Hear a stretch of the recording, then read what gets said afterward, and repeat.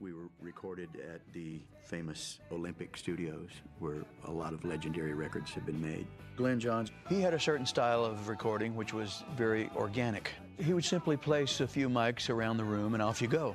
You know, it, um, rather than, for example, placing a microphone on each and every drum, he would just put three microphones on the drum kit. He was accustomed to recording people like John Bonham with Led Zeppelin.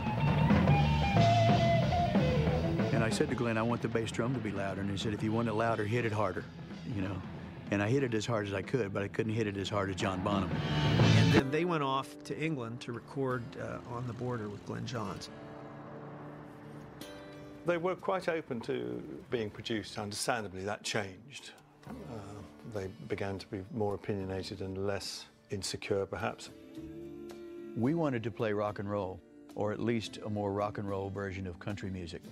And Glyn Johns was of the opinion that we weren't really capable of that. I think he had been bombarded by loud, aggressive rock and roll for, for many, many years. At that point in his life, he wanted mellow people and mellow music. And we weren't exactly at the same stage in life. Frey sort of took over more. He had this desire to be something that I didn't really feel that they were capable of doing. He and Glenn Frey were like oil and water. They clashed frequently. In the studio, Glyn Johns was pretty much a schoolmarm. He push, push, push, you know, and then he'd say, That's it, that's good enough, we're moving on. You're not a rock and roll band. The Who is a rock and roll band, and you're not that. After each of those records, the band freaked out and said, We've made a huge mistake.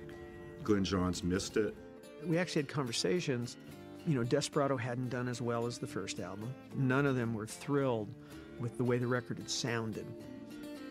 We wanted more input into how our albums were being made. We wanted more input into the recording process itself. Don and I thought that the, the vocals were too wet. There was too much echo on them. And he definitely told us, Excuse me, that's my echo. It's my signature. It's my bloody echo. It stays there. You don't tell me what to do. We needed to make a change. and I got a job in a recording studio here in New York. The first session I ever saw, like like day one, day two, was a Carole King demo. She sat down and played piano, and it was like, boy, this is fun. These people are having fun here. I worked my way up through the ranks, and then, of course, after engineering for four or five years, it's like, well, I can produce better than some of these guys I'm working for. At the time, I was managing Joe Walsh, so I played them Walsh music that I thought was an example of how it could be edgier. Joe and I had just finished an album called The Smoker You Drink, The Player You Get. And they heard that and said, that's what we want to sound like. So Irving arranged for us to have a meeting with Bill Szymczyk. We really only had two questions that we wanted to ask him. Do you mind if we have some input about how much echo is on the vocals? And we wanted somebody who would put a microphone on each and every drum so we could have more control over the mix. He said yes to every question, and so we knew he was the guy for us. I said, okay, under one condition, I have to call Glyn and make sure it's okay with him. So I called him and I said, you know, Glyn, the Eagles want me to produce it. Better you than me, mate.